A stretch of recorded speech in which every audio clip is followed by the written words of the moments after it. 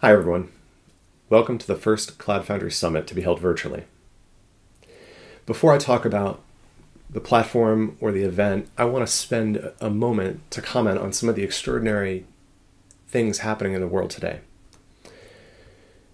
We're here virtually because each one of us, in one way or another, is dealing with the novel coronavirus that emerged in late 2019. Most of us are still isolated at home. Many of us are concerned for the health and safety of friends, family, and ourselves. This is a very challenging time for the whole world. From individuals to companies to governments, our goal as a community has always been to help developers go from idea to production in days and hours, not weeks and months. And so, even in this uncertain time, we can feel proud that our platform has helped countless organizations respond to new requirements and changing conditions rapidly. There are examples of governments that have been able to get much needed benefits out to their citizens very rapidly. There are many examples of companies who have been able to survive and sometimes thrive by responding quickly to changing conditions.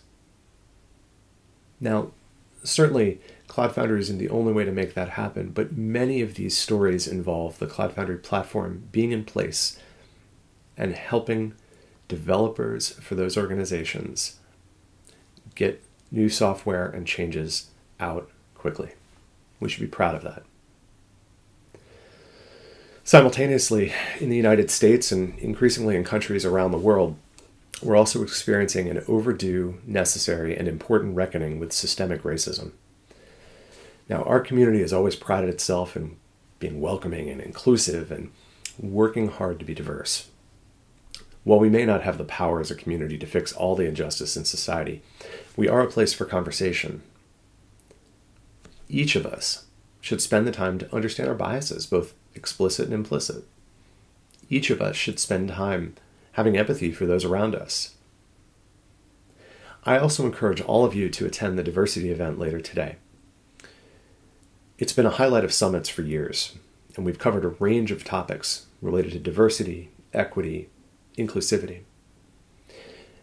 At this virtual event, we'll be focusing specifically on systemic racism. And we're really honored to have Dr. Shakti Butler of the World Trust Educational Services come to speak to this community about exactly that topic.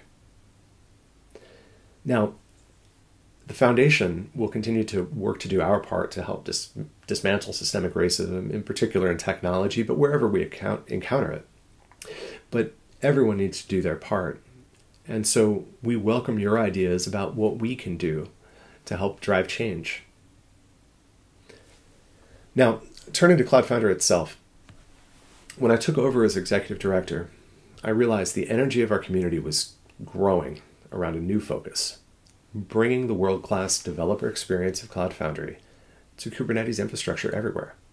And we've come a long way in a very short amount of time. There are two upstream projects today that are both intended to provide that Cloud Foundry developer experience on top of Kubernetes both kubecf and the CF for K8s project. Now, they come at the problem from different but complementary perspectives. kubecf has a history going back into uh, SUSE as an open source project, but also you know, part of their commercial product. It's designed to provide the full Cloud Foundry experience as you know it today on top of Kubernetes. And it accomplishes that by packaging up Cloud Foundry and making sure it can be deployed and managed in a Kubernetes based environment. The CF for K8s project is, is fundamentally a, about reimagining our architecture. It takes a slightly different approach in that it's going to build from the basic functionality, CF push, and grow in capability over time. Each project team is using it as an opportunity to re architect the way that their component of the system works to include more projects from the broader cloud native open source community, whether it's the inclusion of FluentD or Prometheus, whether it's the deeper integration with Istio, whether it's reimagining how our own code can exist as CRDs within Kubernetes.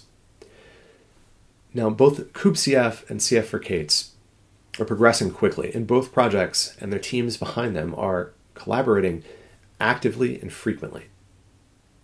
They did start with different perspectives, but they're very complementary and they're moving together into the future.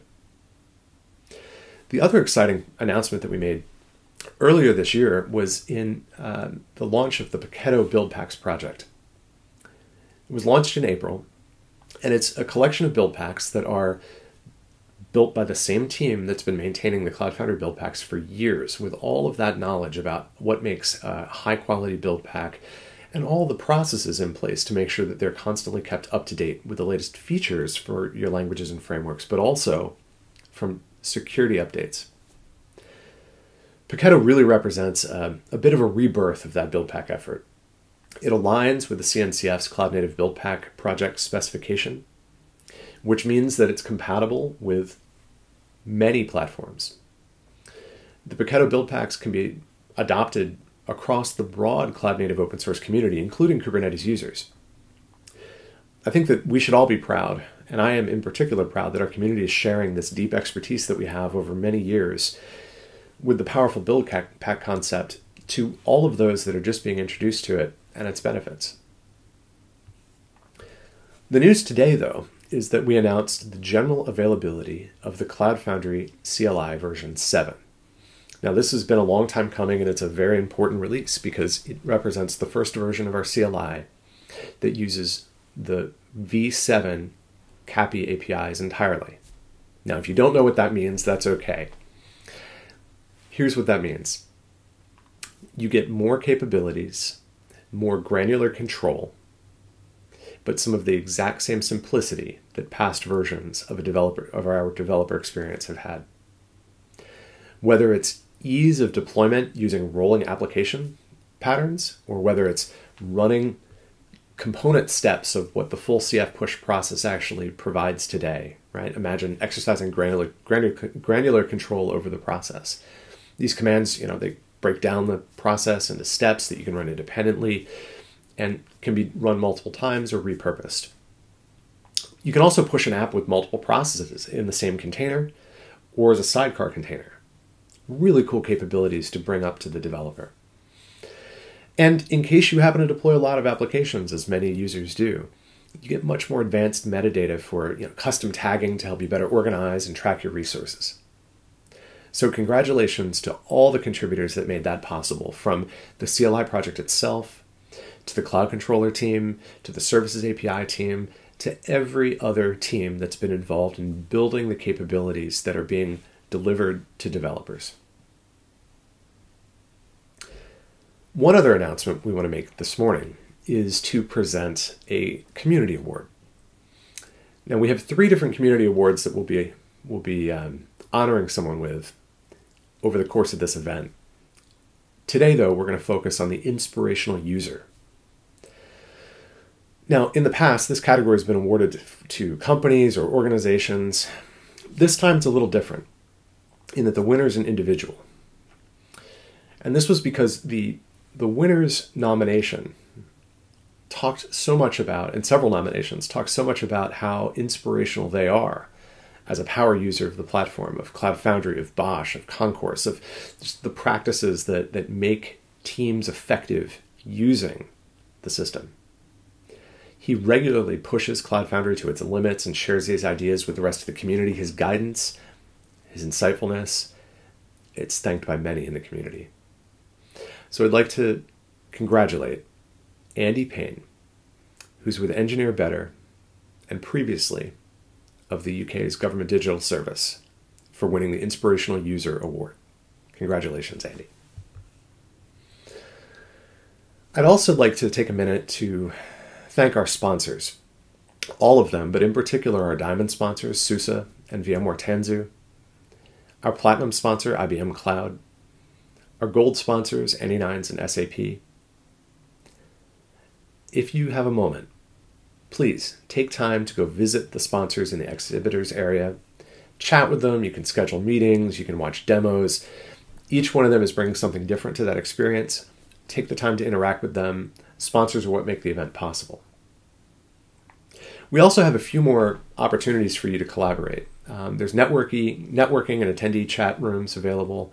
Um, you can go take a look um, at the networking area Um, or you can use it to have one on one text or video calls with other attendees. In order to help you um, get some inspiration to, to engage with the virtual experience, we've also provided a little bit of gamification.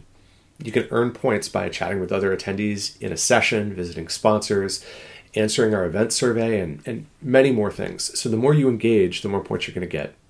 The top 10 point earners are going to win some really awesome prizes. Just a couple final points. I want to remind everyone that we have a code of conduct. And our community's welcoming, diverse, and inclusive environment is made possible because many of our participants implicitly understand what's in that code of conduct. But here in the virtual event, you need to abide by it. If you have any questions about it, it can easily be found in, in your dashboard. And if you have any other questions or you need any type of support, reach out to our event staff. If you have a look, it'll be in the event staff tab in the menu. And from there, we have people waiting to answer those questions that you might have. Last but not least, let's talk about future events.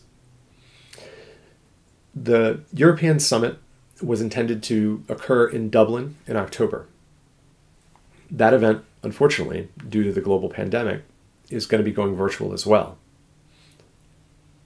Timing for exactly when that will be is still to be determined. We actually want to hear your feedback about how this event works and what could be improved or just fundamentally become different. We'll, we intend to craft a virtual experience that takes from our learnings from this first attempt and makes it even better. So please respond to the survey, let us know how you th- how you experience this, and thank you.